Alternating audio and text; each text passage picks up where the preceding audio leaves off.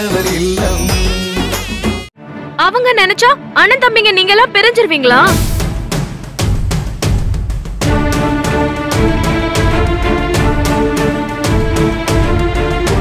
சொல்லுங்க மாமா பிரிஞ்சிருவீங்களா?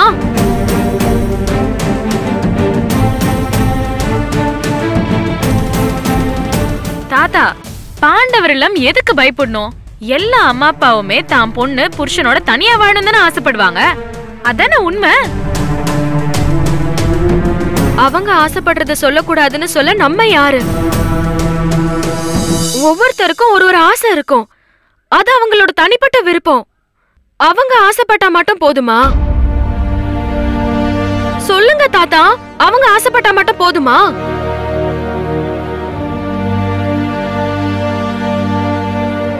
எந்த சக்தியாலையும் அண்ணன் தம்பிகளை பிரிக்க முடியாதுன்னு நாங்க நம்புறோம் தாத்தா. எங்களுக்கு இருக்கிற இந்த நம்பிக்கை உங்களுக்கு இல்லையா? ஏன் தேவையில்லாம பயப்படுறீங்க தாத்தா?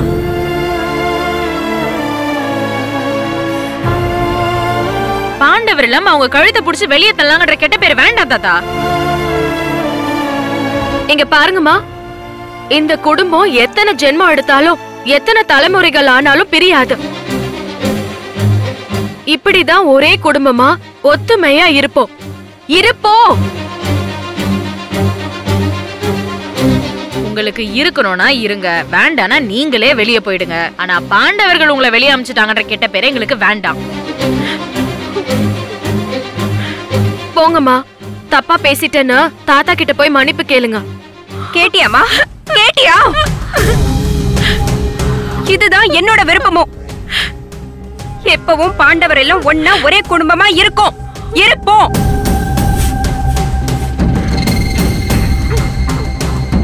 இருக்கிறதும் போறதும் உன்னோட விருப்பம் தப்பா பேசினதுக்கு முதல்ல தாத்தா கிட்ட மன்னிப்பு கேளு. போங்கிற.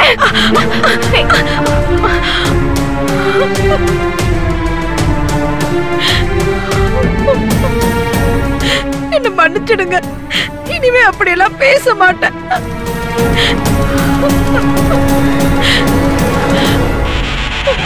என்ன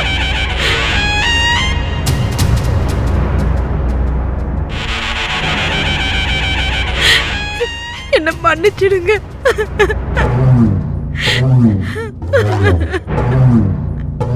மன்னிப்பு கேட்ட? எல்லாம் சரியாயிடுமா? இதுக்கப்புறம் இந்த வீட்ல உங்களுக்கு இடம் இல்ல. முதல்ல வெளியே போங்க. மாமா தப்பு பண்றவங்கள மன்னிக்கிறவன் தான் மனுஷன்னு தாத்தா சொல்வாரே. மறந்துட்டீங்களா?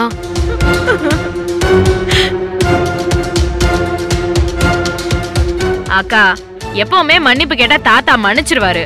இப்பவும் அப்படித்தான். அம்மா மன்னிச்சிருவாரு பாருங்க.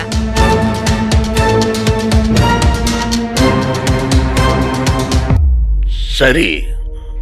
தப்ப உணர்ந்து மன்னிப்பு கேட்டதுனால போனா போதுன்னு இந்த ஒரு வாட்டி மன்னிக்கிறேன்.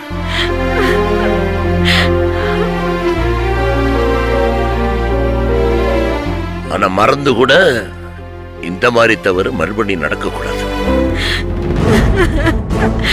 பாண்டவர் இல்லத்துல வாழ வச்சுத்தான் பழக்கம். பிரிச்சு அழிச்சு பழக்கம் இல்ல ரேவதி! உங்க அம்மா கிட்ட சொல்லி வை. மறுபடியும் இந்த மாதிரி தப்பு நடக்க கூடாது இரண்டுகளா போனா போதுரா. இந்த ஒரு வாட்டி மன்னிச்சு அவங்களை இங்க இருக்க விடுங்க. தாத்தா மன்னிச்சாங்கன்ற ஒரே காரணத்துக்காக விடுறேன். வாழை சுருட்டிக்கிட்டு இருக்கணும். தாத்தா தெய்வம். அவங்க மன்னிப்பாக. ஆனா நாங்க ஒரு நாளும் மன்னிக்க மாட்டோம். எங்க குடும்பத்தை பிரிக்க பாக்கி அப்பாடா எப்படியோ தாத்தாவை மன்னிக்க வச்சாச்சு. அக்கா அம்மா உள்ள கூட்டு போங்க.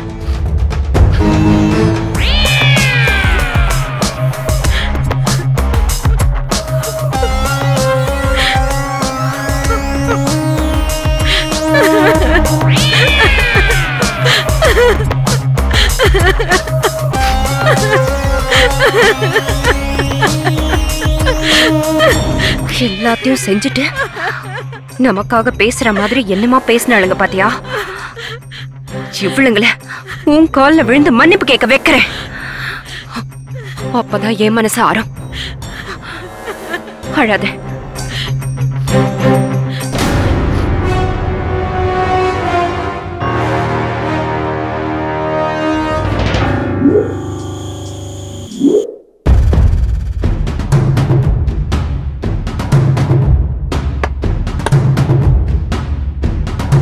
என்ன பண்ண போற? எப்படி பேசினாலுங்க பாத்தியா?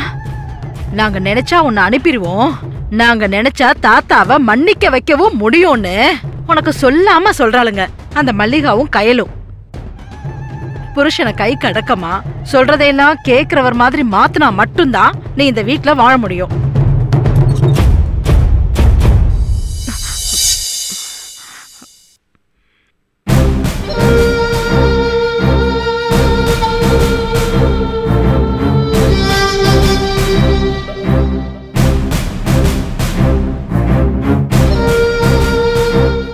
பேசுனதுல என்ன தப்பு இருக்கு?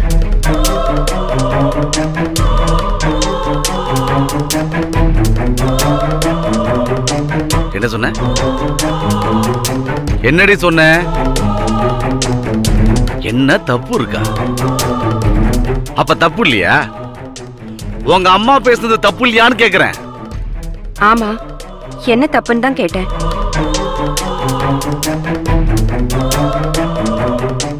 அம்மா தான் தப்பா இருப்பாங்கன்னு நினைச்சேன். நீயும் அப்படிதான் இப்பதான் புரியுது? குடும்பத்தை ரெண்டா உடைக்க தான் ரெண்டு பேருங்க வந்தீங்களா? சொல்லுடி என் குடும்பத்தை ரெண்டா பிரிக்க தான் ரெண்டு பேருங்க வந்தீங்களா? கயலும் மல்லிகாவும் என்னை உங்களுக்காக பொண்ணு கேட்டு வரப்ப என்ன சொன்னாங்க தெரியுமா?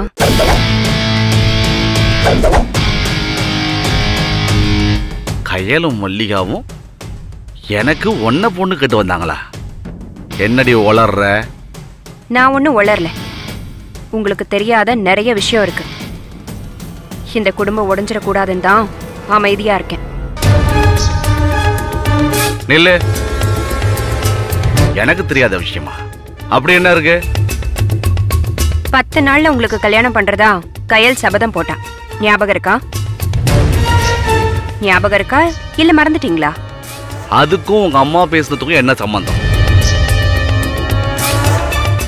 இருக்கு. அம்மா அப்படி பேசுனதுக்கு காரணமே கயலும் மல்லிகாவும் தான். என்ன கேன பையன் நினைச்சியா? உங்க அம்மா பேசுனதுக்கு சப்ப காட்டு கட்டுறியா? எனக்கு தேவையில்லைங்க. நான் எப்பவுமே உண்மையை தான் பேசுவேன் இப்ப பேசுறது உண்மைதான். வெங்காயம். என்ன? புருஷனை கையில போட்டுக்கணும் உங்க அம்மா சொல்லி கொடுத்தாங்களா? இந்த வேலை அங்க நடக்காதுன்னு உங்க அம்மாட்ட போய் சொல்லு. இதுக்கான அவசியமே இல்லைங்க. நீங்களும் அப்படிப்பட்ட ஆள் இல்லைன்னு எனக்கு தெரியும். தெரியுது இல்ல பின்னதுக்கு தேவையில்லாம கையில மல்லிகா வம்பு கேட்கிற நான் தேவையில்லாம வம்புக்கு இழுக்கலங்க. எனக்கும் உங்களுக்கும் கல்யாணம் பண்ணி வச்சதே கயலும் மல்லிகாவும் தான்.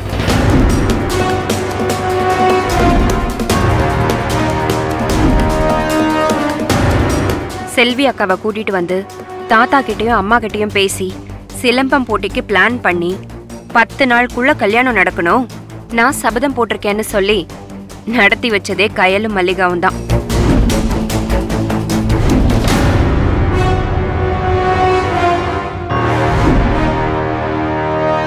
நிஜமாவா? அது மட்டும் இல்ல. இந்த திருட்டு கல்யாணத்துக்கு நான் ஒத்துக்கவே இல்ல. என்ன சம்மதிக்க வச்சதும் அவங்கதான். பாண்டவர் எல்லாம் பெரிய குடும்பம். ரேவதிக்கு சமைக்க தெரியாதுன்னு அம்மா சொன்னதுக்கு கல்யாணம் முடிஞ்சதும் ராசு மாமாவையும் ரேவதி அக்காவையும் தனி கொடுத்து நான் அனுப்பிடுறோம்னு சத்தியம் பண்ணிதான் எங்க அம்மாவை சம்மதிக்க வச்சாங்க. அதனாலதான் எங்க அம்மாவும் அப்படி பேசினாங்க. அதுக்கு காரணம் அவங்க ரெண்டு பேரும் தான் அது அவங்க விருப்பம். ஏன் விருப்பம் இல்ல? என்ன பார்த்து சொல்லு. இதெல்லாம் உண்மையா? சத்தியமான உண்மைங்க. அவங்க வாக்கு கொடுத்ததுக்காக நானே என் அம்மாவை வீட்டை விட்டு வெளியே அனுப்புனப்ப வேண்டான்னு நடிச்சு தாத்தா கிட்ட பேசி என் அம்மாவை மன்னிக்க வச்சாங்க. திரும்பவும் சொல்றேன். உங்களுக்கும் எனக்கும் கல்யாணம் பண்ணி வச்சதே கயலும் மல்லிகாவும் தான் இதுக்கு மேலேயும் உங்களுக்கு சந்தேகமா இருந்தா போய் அவங்க கிட்டயே கேளுங்க. நீ மட்டும் பொய் சொல்லியிருந்த.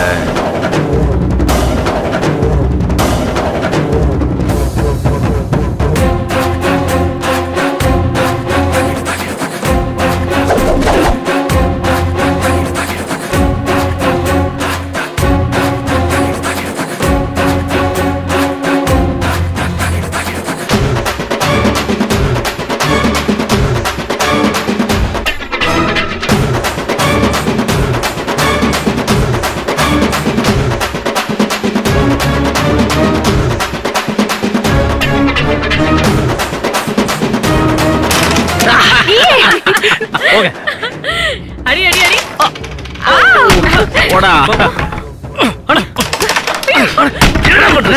ஏய் என்னடா பண்ணிட்டு இருக்கீங்க? கூட சேர்த்து கும்பாரம் போட்டு இருக்கீங்களா? அசிங்கமா இல்ல உங்களுக்கு எல்லாம் என்னாச்சுண்ணா? இவ்வளவு கோவப்படுற? கையறா இவளுக்கு ரெண்டு பேரும் சேர்ந்து என்ன காரியம் பண்ணிருக்காங்க தெரியுமா உங்களுக்கு?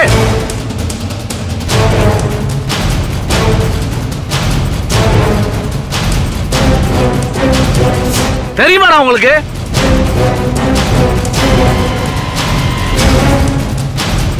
நாங்க என்ன தப்பு பண்ணோம் மாமா? சொல்லிட்டு கோவப்படுங்க. அவரா கோவப்படல கையல்? இது யாரோ ஏதோ சொல்லி அமிச்சிருக்காங்க.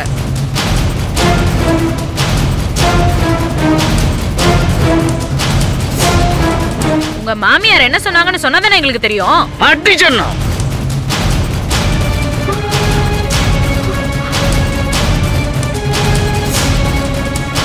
ரேவதி எனக்கு கல்யாணம் பண்ணி வச்சது யாரு?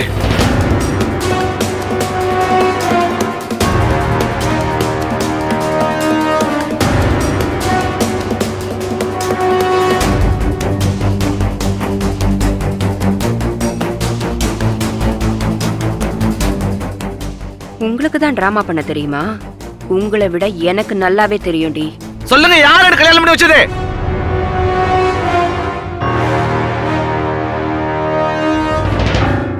கேக்குறல்ல? செல்விய கூட்டிட்டு போய் ரேவதிய பொண்ணு பார்த்து எனக்கு கல்யாணம் பண்ணி வச்சது யாரு?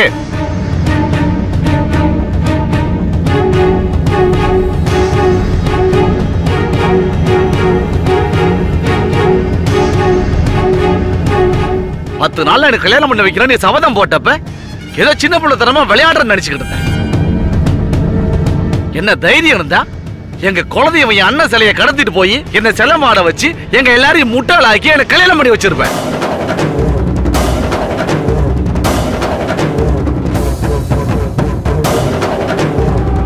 ஏ மல்லியா நீ கூட்டு தானே அண்ணா அப்படிலாம் இல்லண்ணே. என்ன நோப்படிலாம் இல்ல? ஏ உங்க ரெண்டு பேருக்கு தெரியாதுடா. இதுக்கு சாதாரண ஆள் இல்ல. இவங்க ரெண்டு பேரும் சேர்ந்து என்ன வேலை பண்ண போறாங்கன்னு தெரியல.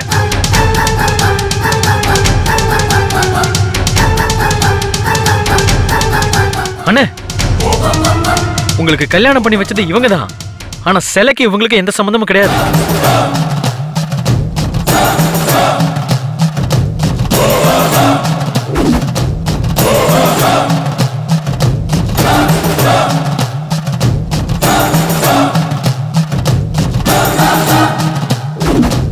என்னடா சொல்ற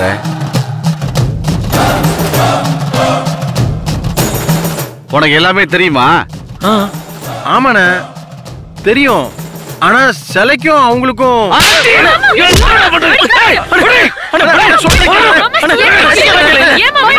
பண்றீங்க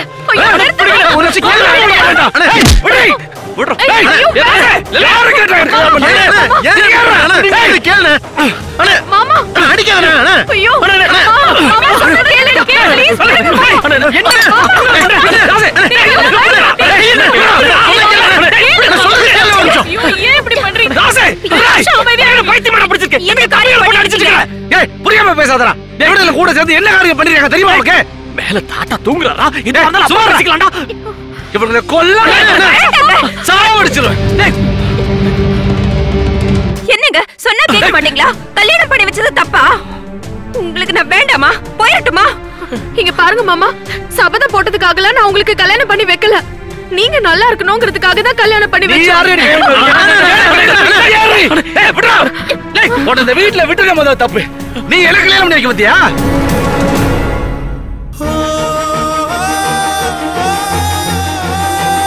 நல்லா தானே மாமா பண்ணோம். நல்லது பண்ணியலா. ஏய் ஆண்டவர் இல்லத்துக்கு நல்லது எது கெடுதல் எதுன்னு முடிவெடுக்கிறதுக்கு நீங்க யாரு? நீங்க யாருங்க ஏடல இதை விட கூடாதுடா அந்த தொங்கு மீசக்காரி வேலை மாமையும் வர சொல்றாங்க. இதுல முதல்ல வீட்டு விட்டு விரட்டும்டா என்னங்க இப்ப எதுவும் பேச வேண்டாங்க. தாத்தா தூங்கிருப்பாரு கத்தாம பேசுங்க. கத்தாம? அப்போ இவன் என்ன வேணாலும் பண்ணுவாங்க புத்திக்கிட்டு இருக்க சொல்றியா? ஏ குட்டி உன் மாமனார் வர சொல்றான். அன்பு நீங்க தான் வர சொல்லணும். இன்னைக்கு ஒரு முட்டி தெரிஞ்சவன் நடக்கு நீங்க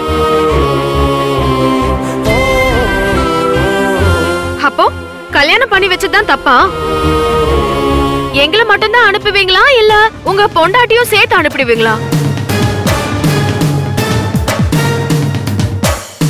சொல்லுங்க மாமா உங்க பொண்டாட்டியும் சேர்த்து அனுப்பிடுவீங்களா? கயல் சும்மா இருக்க மாட்டேன். முதல்ல எதிர்த்து பேசுறத நிறுத்து. கையில் ஒண்ணு இப்ப தப்பா பேசலையே. ஓ இதுக்கு மேல தப்பா வேற பேசுவாளா? ஏ நல்லா பாண்டவர் உள்ள பெரிய குடும்பம் என் பொண்ணுக்கு சமைக்க தெரியாது. அதனால இந்த சம்பந்தம் வேணாம்னு இவங்க அம்மா சொல்லியிருக்காங்க. அதுக்கு இவளுக்கு என்ன தெரியுமா சொல்லியிருக்காளுங்க? நீங்க ஒண்ணு கவலைப்படாதீங்க. கல்யாணம் முடிஞ்சதுக்கு அப்புறம் ராசு சுந்தரத்தையும் உங்க பொண்ணையும் தனி கொடுத்து அனுப்பி வைக்கணும் இவளுக்கு சத்தியம் பண்ணிருக்காளுங்க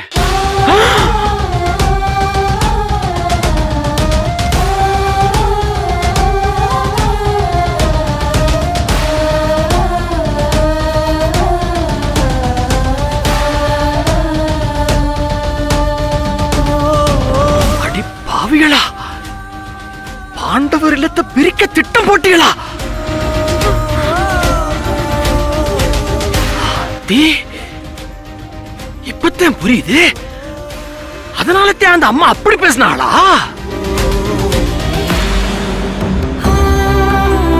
இங்க பாருங்க. தாத்தா மேல சத்தியமா நாங்க அப்படி சொல்லல. எங்க? அந்த அம்மா கூப்பிடுங்க. நாங்க அப்படி சொல்லியிருந்தா இப்பவே இந்த நிமிஷமே இந்த வீட்டை விட்டு வெளில போயிடுறோம்.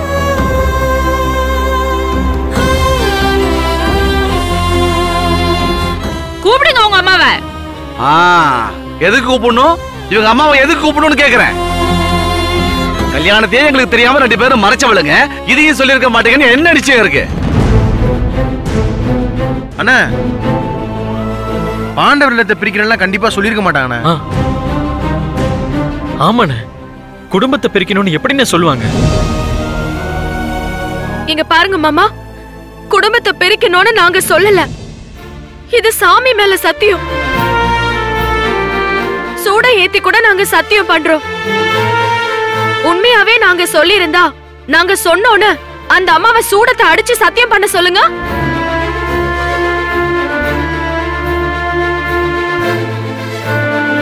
அக்கா உங்க அம்மாவை கூப்பிடுங்க. கூப்பிடுங்க அக்கா.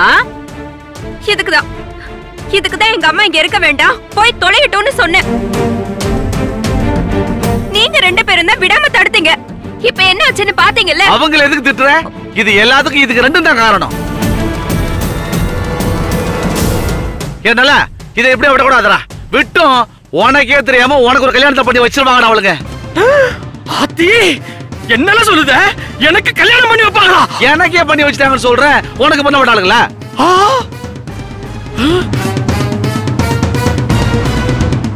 ஏய் என்ன? அப்படி ஏதாவது சதி திட்டம் வச்சிருக்கீங்களா? திட்டம் போடுவாளடான்ற ஏ நல்லா. இதை எப்படியே விடக்கூடாதுடா. தாத்தா கிட்ட இப்பவே போய் சொல்ல விட்டான் எழுப்பி. ஏங்க இருங்க. எதுவா இருந்தாலும் காலையில பேசிக்கலாம் வாங்க. இல்ல இல்ல ராசி. தாத்தா கிட்ட நாம அவசியம் சொல்லித்தாண்டா ஆகணும். ஆனா இப்போதைக்கு வேண்டான்னு சொல்லுதே. ஏற்கனவே அவங்க அம்மா குடும்பத்தை பிரிக்கணும்னு சொன்னாங்கன்னு கேள்விப்பட்டதுக்கே அவர் உடைஞ்சு போயிட்டாரு. இப்ப இந்த சங்கதியும் கேட்டாருன்னா அவர் தாங்க மாட்டாரா? இப்போதைக்கு வேண்டாம்டா. அதுக்காக இப்படியே விட்டுற சொல்றியா? இதுகளை அப்படியே விட்டோம் தாத்தாவுக்கே கல்யாணம் பண்ணி வச்சிருவாளுங்க இதுக்கு ரெண்டு பாண்டவர் எடுத்து அழிக்க வந்திருக்குதுடா அழிக்காம போக மாட்டாளுங்க என்னங்க பேசுறீங்க? கயலும் மல்லிகாவும் அப்படி இல்லங்க. நீங்க கோவத்துல பேசுறீங்க. எதுவா இருந்தாலும் காலையில பேசிக்கலாம். என்னதான் வாங்க. இவங்கள்ட்ட காலையில பேசுறது? வாங்கன்னு சொல்றேன்ல. வாங்க.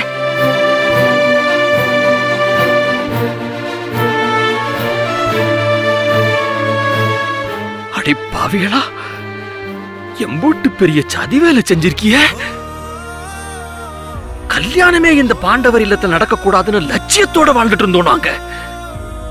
இந்த ரெண்டு பச்சை மண்ணையும் மயக்கி நீங்க ரெண்டு பேரும் இந்த வீட்டுக்குள்ள வந்தீங்கன்னு பார்த்தா அந்த அப்பாவி பயல சதி செஞ்சு கல்யாண வலையில சிக்க வச்சிருக்கிய. தாருங்க உங்க ரெண்டு பேரையும் நான் எச்சரிக்கிறேன். இதோட நிறுத்திக்கங்க. அடுத்ததா எனக்கு கல்யாணம் அது இதுன்னு ஏதாவது செய்ய முயற்சி பண்ணீங்க அம்புட்டுதே. பாண்டவர் இல்லத்துடைய லட்சியத்துக்காக வாழ்ந்துட்டு இருக்கிறவனா செத்தாலும் சாவேனே தவிர்த்து ஒரு நாள் என் வாழ்க்கையில கல்யாணங்கிறது கிடையாது.